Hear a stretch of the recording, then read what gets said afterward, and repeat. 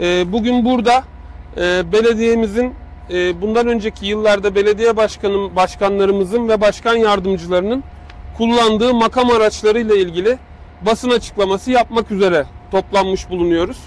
Araçlarımız e, belediyemizin 4 tane makam aracı var. Makam aracı olarak kullanılan 4 tane aracı var. Bunlardan bir tanesi bizzat belediye tüzel kişiliğine ait olan Ford Mondeo marka aracımız. Diğer 3 tanesi de e, belediyemiz tarafından yine belediyenin şirketinden kiralanmış olan ve şu anda sizin de görmekte olduğunuz 3 adet makam aracımız söz konusu. E, bu araçlar e, üzerinde bilgileri yazıyor. 2017 ve 2018 yıllarında trafiğe çıkmış. Benden önceki belediye başkanları ve belediye başkan yardımcılarına 7 gün 24 saat esasıyla tahsis edilmiş. Yani belediye başkanlarımız ve başkan yardımcılarımız bu araçları e, özel işleri için e, mesai saatleri dışında özel işleri için de kullanmışlar. E, araçların kilometreleri üzerinde yazıyor. Örneğin belediye başkanı tarafından kullanılan Passat marka aracımız 2017'de trafiğe çıkmış. Bugüne kadar 287 bin kilometre yapmış. Yine aynı şekilde belediye başkan yardımcıları tarafından kullanılan Peugeot marka araçlarımız 128 bin ve 100, 174 bin kilometre yapmışlar bugüne kadar. E, bunlar maalesef e, özel işler için de kullanılmış. Yani e, kamunun mesai saatleri belli veya belediye başkanının, başkan yardımcılarının, belediyede çalışan personelin görevli olduğu süreler belli. Özel görevlendirmelerle şehir dışına gidip gelmeler elbette ki bunlarda bu araçlar kullanılacak ama ben Somalı vatandaşlarıma şunu söylemek istiyorum. Bir seçim dönemi geçirdik. Propaganda döneminde gittiğim her yerde bunu vurguladım. Dedim ki ben belediye başkanı olduğumda mesai saatleri dışında belediyenin hiçbir aracını kullanmayacağım.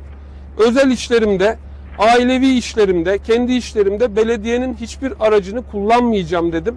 Ve bugüne kadar belediye başkanlığımın 16. günündeyim. 16 gündür de buna riayet ettim. Buna e, uydum. Bu araçlar da bugüne kadar garajımızdaydı.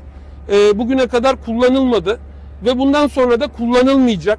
Gördüğünüz az önce sizlere gösterdiğim her 3 araç da e, satışa çıkarılacak şirket tarafından, belediye şirketi tarafından e, ve bu araçların yerin, yerine de yeni makam araçları alınmayacak. Bunun da Somalılara sözünü veriyorum. Artık Soma Belediyesi'nde her anlamda israf dönemi sona ermiştir.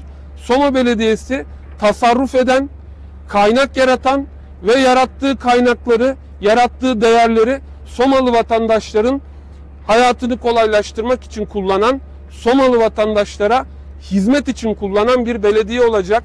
Bunun taahhüdünü, sözünü seçim döneminde vermiştim.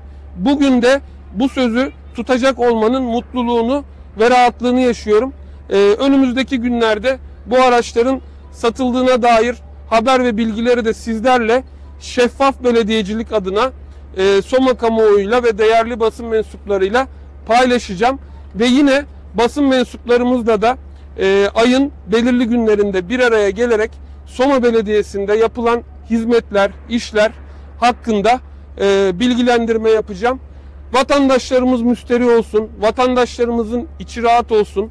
Belediyeye ödedikleri her kuruşun emanetçisi biziz ve tüyü bitmemiş yetimin hakkını da sonuna kadar savunacağız. Bu konuda tüm vatandaşlarımız bize güvenebilir. İnşallah önümüzdeki günlerde e, yapacağımız daha güzel hizmetlerle yine sizlerle de bir araya geleceğiz. Bu arada bu vesileyle de bir şeyi daha duyurmak istiyorum. E, Değirmen Park kafemiz var biliyorsunuz. Somalıların çok sevdiği bir kafe işletme haline geldi burası.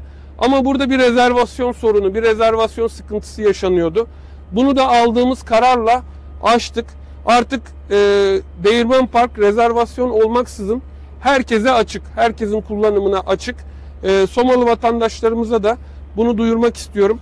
Önümüzdeki aylarda, yıllarda yeni sosyal tesislerimizi de tabii ki Somalı vatandaşların hizmetine sokacağız ve hiçbir sosyal tesisimizde de rezervasyon uygulaması olmayacak. Kimse kimseyi kayırmayacak. Orada çalışan personelimiz de Somalı vatandaşlarımızın hizmetinde, emrinde olup onlara onları mutlu etmenin e, mutluluğunu yaşayacak.